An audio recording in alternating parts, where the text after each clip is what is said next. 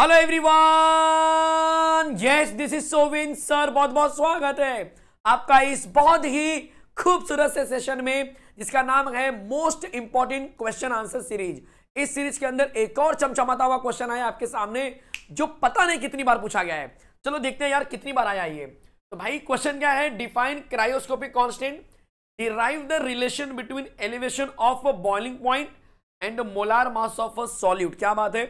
अक्टूबर 2014 में, जुलाई 2017 जुलाई 2018 सितंबर 2021 ये कोरोना वाला पीरियड था बच्चा, इसलिए एग्ज़ाम सितंबर में हुई थी। क्या बात है यार, बहुत बार पूछा गया मतलब ये तो। और ऐसा ही क्वेश्चन एक था इब्लोस्कोपिक और उसका भी मोलार मास और बोलते ना, फ्रीजिंग पॉइंट, डिप्रेशन के ऊपर रिलेशन जो होता है, वो भी काफ़ी इंपॉर्टेंट है। कई बार एग्ज़ाम में आ चुका है। तो ये दोनों क्वेश्चन में से एक क्वेश्चन एग्ज़ाम में आने के चांसेस बहुत ज़्यादा रहेंगे इस साल भी। तो भाई, अगर आप बोर्ड एग्ज़ाम देने वाले हो तो ये दोनों ही क्वेश्चन की प्रैक्टिस जम के कर लेना, ठीक है? चलिए शुरू करते हैं इस क्वेश्चन को भाई क्रायोस्कोपिक कॉन्स्टेंट क्या होता है और इसका डेफिनेशन कैसे लिखेंगे? साथ में इसको जो रिलेशन पूछा गया है, वो क्या होगा? तो चलिए शुरू करते हैं। सबसे पहले समझने की कोशिश करते हैं कि क्रायोस्कोपिक जो कांस्टेंट है, वो क्या है? व्हाट इज़ क्रायोस्कोपिक कांस्टेंट देखते हैं इसको क्रायोस्कोपिक कांस्टेंट किसको बोलेंगे? तो अगर मैं समझने के हिसाब से बताऊँ आपको तो आपने कई बार देखा होगा। देखो क्रायोस्कोपिक जो कांस्टेंट है ना, वो जनरली आता है कि भाई डेल्टा टीएफ जो होता है, ध्यान देना बच्चा, जो डेल्टा टीएफ है आपका यस जो डेल्टा टीएफ है वो आपका डायरेक्टली प्रोपोर्शनल टू क्या होता है? एम होता है। और अगर मैं इसको हटा दूँ तो जो डेल्टा टीएफ जो है बच्चा equal to K F into M हो जाएगा। एग्री हो रहा है इस बात से? अगर मैं एम की जगह पे वन ले लूँ, सोचो जरा। अगर मैंने एम की जगह पे वन ले लिया इसका मतलब ये है कि डेल्टा टी एफ़ मेरा के एफ़ के बराबर है और इसी को हम बोलेंगे ये जो के एफ़ है ना बच्चा यही मेरा क्रायोस्कोपिक कांस्टेंट है। यही क्या है मेरा? क्रायोस्कोपिक कांस्टेंट है। मतलब सर आप ये कहना चाह रहे हो कि जो क्रायोस्कोपिक कांस्टेंट है वो आपका आ, कहीं ना कहीं जो बोलते हैं ना कि फ्रीजिंग पॉइंट डिप्रेशन के बराबर होता है प्रोवाइडेड दैट कि उसमें मोलालिटी वन होनी चाहिए। तो हमारा डेफिनेशन बन जाएगा cryoscopic constant cryoscopic constant is the, ध्यान देना बच्चा, cryos, cryoscopic constant is the freezing point depression. Freezing point depression. Freezing point depression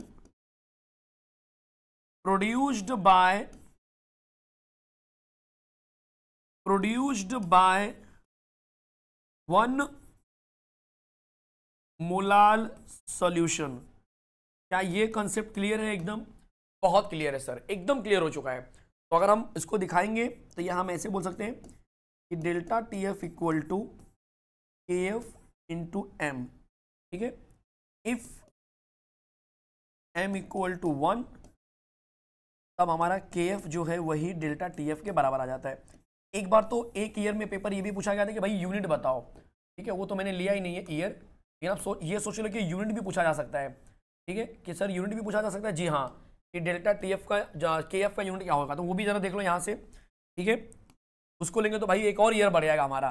ठीक है तो डेल्टा टी एफ़ जो है, वो के एफ़ इंटू एम होता है। अगर मैं के एफ़ की बात करूँ तो के एफ़ हो जाएगा हमारा delta T F upon, M, ध्यान देना बच्चा, डेल्टा टी एफ़ का मतलब है कहीं ना कहीं टेम्परेचर मतलब कैलविन और मोलालिटी होता है मोल पर केजी तो हम बोलेंगे यार मोल पर केजी का केजी ऊपर आ गया और मोल ऊपर जाएगा तो मोल इनवर्स बन जाएगा। मतलब यूनिट बन जाएगा कैलविन किलोग्राम मोल इनवर्स ये हमारा के का यूनिट हो जाएगा। आपके रेफरेंस के लिए बता रहा हूँ ताकि आपको पता चले। ठीक है? चलिए, अब अगला क्वेश्चन पूछ रहा है। Derive the relation between elevation of a boiling point and molar mass of a solute कोई दिक्कत नहीं, वो भी सॉल्व कर देंगे। सबसे पहले क्या लेंगे हम यहाँ पर? वी नो दैट ऐसे तो जानते ही होंगे। नहीं जानते हो? अरे तो भी लिख दो। हम जानते हैं। क्या जानते हैं, सर? हम यही जानते हैं कि डेल्टा टी बी, क्योंकि हमको बॉलिंग पॉइंट एलिवेशन पूछा है equal to K B into M होता है। ये हमारा मेन इक्वेशन है। ये हमारा जो मेन इक्वेशन है, ये हो गया हमारा main equation that is number one ठीक है? फिर इसके बाद ये जो कंटेंट दिख रहा है आपको कि सर, इसके अंदर हमारा के बी क्या है, वो स्पेसिफाई कर दो। तो where K B equal to ebullioscopic constant बोलते हैं इसको। इब्लोस्कोपिक कांस्टेंट कभी कभी इसका भी डेफिनेशन आता है। जैसे क्रायोस्कोपिक का बताया वैसे ये भी सेम होगा। एम को बोलते हैं मोलालिटी। एम को बोलेंगे मोलालिटी। अब जरा आगे बढ़ते हैं। सर, इसके आगे क्या होने वाला है? तो बच्चा, इसके आगे अब हम बात बात करेंगे सिर्फ़ मोलालिटी के बारे में। सिंस मोलालिटी क्या होती है? तो सिंस मोलालिटी जो होती है बच्चा, वो होता है moles of solute moles of solute that is N2 कह सकते हैं आप लोग divide by mass of solvent mass of solvent मतलब W1 वन के के अंदर चाहिए। W होता है, लेकिन के में चाहिए। चलेगा इन के जी डाउट बच्चा, ये किसमें होना चाहिए? किलोग्राम में होना चाहिए। मतलब हम ये बोल सकते हैं कि स्मॉल एम हमारा N two upon W one होता है, जो कि के में चाहिए। एग्री कर रहे हो इस बात से? ये हो गया हमारा इक्वेशन नंबर टू ये हो गया हमारा इक्वेशन नंबर टू अब हम जरा आगे बढ़ेंगे और इस एन टू को निकालने की कोशिश करेंगे। सर, ये सिर्फ़ एन टू क्या होता है? सोचो जरा। सिर्फ़ एन टू हम कैसे निकालेंगे? तो अगेन ध्यान देना यहाँ पर सिंस जो एन टू है बच्चा मास अपॉन मोलार मास के हिसाब से M W two upon M two हो जाएगा। ठीक है? एंड कंसिडर कर लो let the mass of a solvent let the mass of a solvent equal to W one gram हमने लिया है। ठीक है? हालाँकि हमको किलोग्राम में चाहिए बट हमने ग्राम लिया है। अगर ग्राम लिया तो हम क्या बोलेंगे कि इसी चीज़ को हम किलोग्राम में लेंगे। तो मास ऑफ़ सॉल्वेंट जो है, वो मेरा हो जाएगा W one upon one thousand kilogram. Agree कर रहे हो? बिल्कुल एग्री कर रहे हैं सर सर अब क्या करेंगे? अब ये दोनों चीज़ों को पुटअप करेंगे। तो substitute this value substitute these values in equation number कौन सा इक्वेशन था भाई? देख लो जरा। तो हम इसमें डालने वाले हैं मतलब टू में डालने वाले हैं। Substitute this values in equation number two जैसे हम टू में डालेंगे तो हमारा जो एम है वो कुछ ऐसा बन जाएगा। एन टू मतलब W two upon M two ratio का जो साइन है उसको मैंने डिवाइड कर दिया और उसके जगह पे डाल दिया डब्लू वन अपॉन एक हज़ार। ठीक है? किलोग्राम में। अब इसको हम पलटी मारेंगे। लोअर क्लास का जो आपने सिंपल मैथ्स पढ़ा होगा वो यहाँ पर अप्लाई करना है। ये कुछ ऐसा बन जाएगा, पलटी मारा तो ये बन जाएगा एक हज़ार डिवाइड बाय डब्लू वन दिखाई दे रहा है? ये हो गया हमारा equation number three yes clear है एकदम? ये कौन सा इक्वेशन हो गया हमारे लिए? थ्री इक्वेशन हो गया। ये हमारा इक्वेशन नंबर थ्री हो गया। अब क्या करेंगे सर अब कुछ नहीं करना है भाई। अब टेंशन लेने का नहीं। Substitute equation number 3 in equation number 1 substitute equation 3 in equation 1 आया समझ में? जैसे हम इसमें पुटअप करेंगे, वैसे हमारा आंसर बन जाएगा delta T B equal to K B वैसे का वैसे। एम की जगह पे ये पूरा थ्री वाला वन में जाने वाला है।